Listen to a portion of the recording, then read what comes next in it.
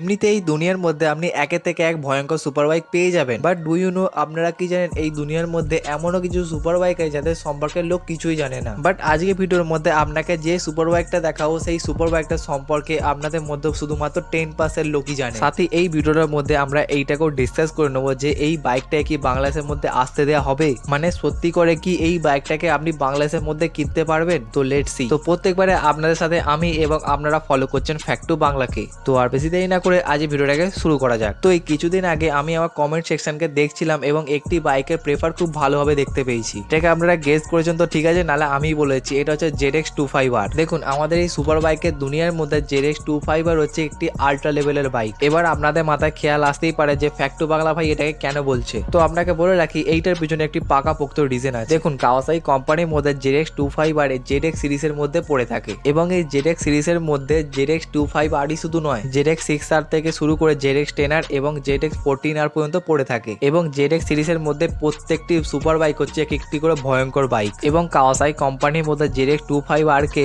জুলাই দশ তারিখে দু হাজার কুড়ির মধ্যে প্রথম লঞ্চ করা হয়েছিল। এবং কাওয়াসাই কোম্পানির কাছে এই বাইকটা হচ্ছে সব থেকে ইউনিক একটি কনসেপ্ট দেখুন, যে কোনো বাইকের ভিডিও বানানোর আগে আমাকে অনেকখানি রিসার্চ করতে হয় বাট এই বাইকটা সম্পর্কে জানার পর আমিও অনেক বেশি অবাক হয়ে গেছিলাম। যেমনই এই বাইকটার মধ্যে জেডেক্স টু ফাইভ কথার অর্থ হচ্ছে দুশো পঞ্চাশ সিসির একটি বাইক বাট এর মধ্যে যেহেতু জেডেক্স এটা লেখা আছে তার জন্য একটি আলাদা সিরিজের মধ্যে এটা পড়ে গেল। এবার এই বাইকটার মধ্যে ব্যবহার করা হয়েছে দুশো পঞ্চাশ সিসির liquid cooling inline four cylinder engine কি শুনে একটু অবাক হয়ে গেলেন তো? দেখুন, সত্যি কথা বলতে এই বাইকটা সম্পর্কে যখনই আমি জানতে পেরেছি, এর মধ্যে দুশো পঞ্চাশ সিসির বাইক হয়ে ইনলাইন ফোর সিলিন্ডার ইঞ্জিন ব্যবহার করা হয়েছে, তখন আমি দুশো পঞ্চাশ থেকে পাঁচশো সিসির বাইক পর্যন্ত অনেক বাইককে খুঁজেছি, তবে এমন কোনো বাইক খুঁজেই পাইনি যার মধ্যে ইনলাইন ফোর সিলিন্ডার ইঞ্জিনের ব্যবহার করা হয়েছে।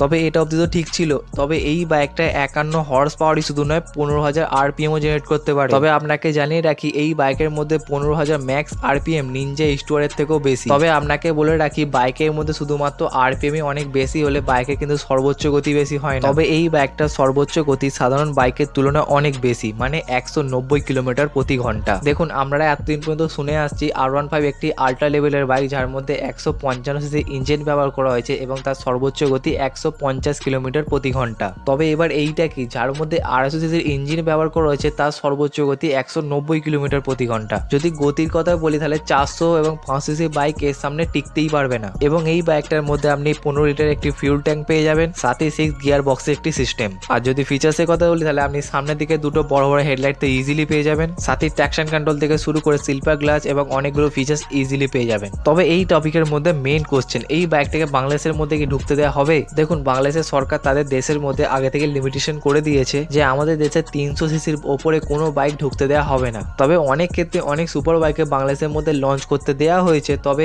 এই বাইকটা খুব ইজিলি বাংলাদেশের মধ্যে এন্ট্রি নিয়ে নিয়েছে। যেহেতু এই বাইকটা সম্পূর্ণ হবে একটি আড়াইশো সিসির বাইক। তবে আমার আফসোস যে এটাই যে বাংলাদেশের মধ্যে এই বাইকটা কোনো প্রাইস শোই করছে না। তবে ইন্ডিয়ার প্রাইসকে দেখে আমি এই বাইকটা একটি প্রাইসকে বানিয়েছি যেটা কতটা ঠিক আছে। দেখুন, আমাদের ইন্ডিয়ার মধ্যে এই বাইকটার প্রাইস চালু হয় প্রায় আট লাখ টাকা থেকে। তো সেই হিসাবে যখন এই বাইকটা বাংলাদেশের মধ্যে হেঁটে নিচ্ছে, তখন বাংলাদেশের মধ্যে আগে থেকে বাইকের ওপর আড়াই গুণ ট্যাক্স দিতে হয়।